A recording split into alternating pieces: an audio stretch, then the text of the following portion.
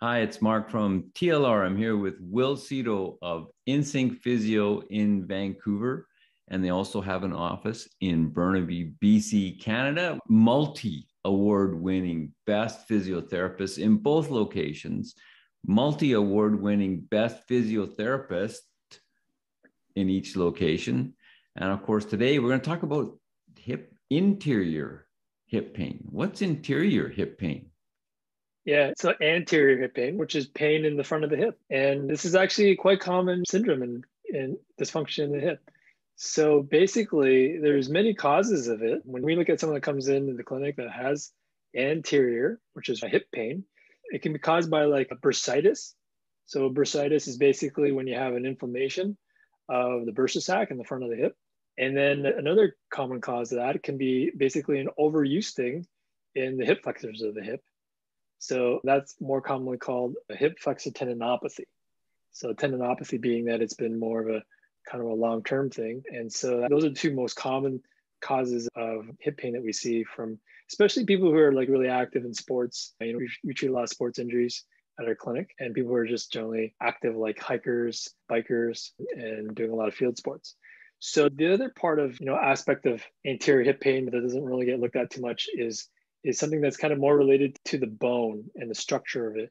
And so the terminology of this is called an FAI, which is femoral acetabular impingement. So basically what that is, is there's a bony anomaly happening there in one of the two bones causing impingement in, in that joint. And there's specific limitations associated with that on a clinical level when you assess it. But all in all, when you either look at whether it's an FAI or if it's like a bursitis, overuse tendinopathy, or even something that's more wear and tear, where it could be a bit arthritic, there's usually a lot of imbalances in terms of the muscle structure around the hip. So a lot of weaknesses and a lot of stuff that's just too tight and not allowing the actual hip joint to basically move properly and, and optimally.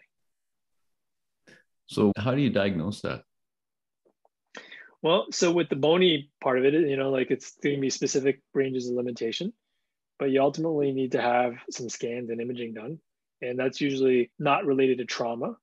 So it can develop sort of when you're growing in the bones and, and in terms of how the structure of the bone start to then uh, get maybe a little bit thicker in certain parts of the femur or the pelvis. And then, so when you look at the other injuries, like, so I'll give you an example. I had a woman that came into our clinic who went on a five day hike at the West Coast Trail and she's also a rock climber too so she does a lot of like you know sort of flexion movements with her hips. And then she bikes a lot. So anyway she went on this five day hike and then two days into it she started getting anterior hip pain. And so it's funny because she was attributing that specifically to the hike but knowing her and, and the fact that she was so active you know this was all set up to happen before. And the other interesting thing is that as i was assessing her i realized that she had other stuff going on too so it wasn't just like in her hip joint that she was having all these imbalances, but her sacroiliac joint, which is basically an adjacent joint to the hip, was really, really stiff.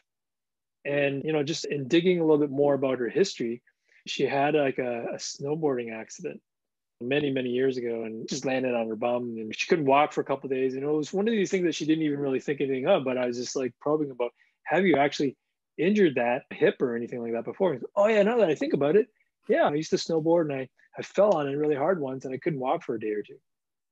And then she was fine. Turns out that after I, I worked on mobilizing that sacroiliac joint, that hip area adjacent to the actual hip, you know, her limitation in her hip pain was completely gone.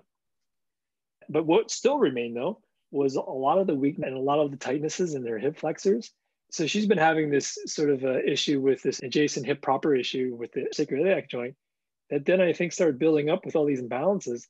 And she's very active to begin with, but a lot of her activities involve hip flexion. And her hip flexor muscles, even after mobilizing and getting that sacroiliac joint moving, was so tight that she didn't even have a neutral range into hip extension. And that was actually one of her biggest things that she was complaining about too, was that hip extension was painful, but hip flexion was painful too. But after we mobilized it, you know, her movement wasn't painful anymore, but she was just stiff. So basically, what we had to do then, after mobilizing the areas that were stiff, we had to actually start to loosen those muscles around there that were also really tight and binding, because what happens is then it just causes this sort of vice grip in the joint still. And like you're still not getting optimal movement in the actual hip joint. And then as a result, because she's always used to those muscles being tight, then other muscles were just super, one specifically like into her iliocapsularis, which is a muscle in the front of the hip, and then her gluteus medius, which is basically the butt muscles. And gave her some exercises to start off with, but she was like miraculously got off the table and like I can walk after one session. But it doesn't end there because then the muscle imbalances need to be addressed. What's a typical course of treatment? How long does it take to, in a more normal situation, to get more pain free? Yeah, so anywhere between, you know, depending on the kind of injury, if it's an acute injury, it can take a little longer, anywhere between like four to six weeks. If it's like an acute strain in the hip flexor, maybe longer. If it's a bursitis, those things can settle down pretty quickly. But then it's really now addressing the imbalances. Because the thing is, like with this client, she wants to get back to doing all her sports and her activities. And, you know, they're at a recreational level, but she's operating not at an optimal way of moving her hip and and she has to relearn how to use those muscles. And so our job is to help facilitate that and make sure that the range of motion in the adjacent segments and the joints are actually moving properly continue to move properly and to basically reinforce that optimal movement pattern. Cool. You mentioned like you had a second client who was having this kind of interior hip pain anterior oh, yeah. hip pain?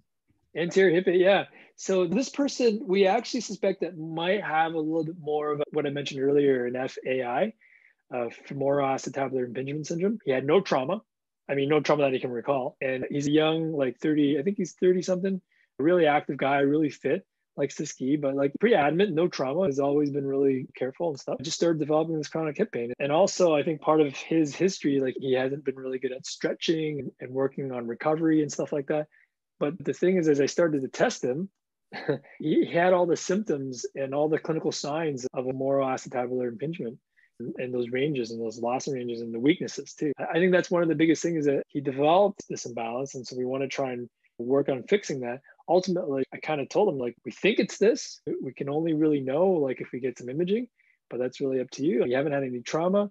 And so he has been in a, a, few sessions to see us. And it's interesting because when he works on his exercises, he gets really good. He's pretty consistent, but then he goes in bouts where he'll go hard on mountain biking. He'll be a bit more sore for a few days.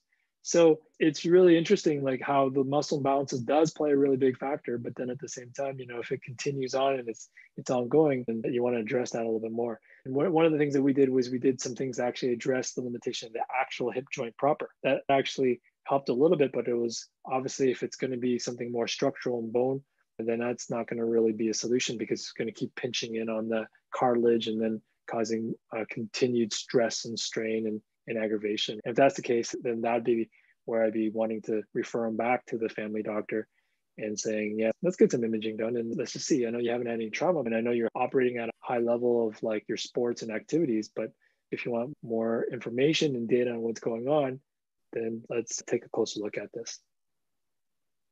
Yes, taking care of it sooner rather than later if it's something like you don't want, like a cyst growing or arthritis, etc. Whatever they possibly can do. Yeah, exactly. When it persists like that and it just doesn't seem to get fully better. So, if you want some help with your hip pain, anterior, posterior, medial, I don't care where it is, guys to see are InSync Physio in Vancouver. You can reach them in Vancouver at 604 566 9716, or you can book online at insyncphysio.com. They also have a Burnaby office.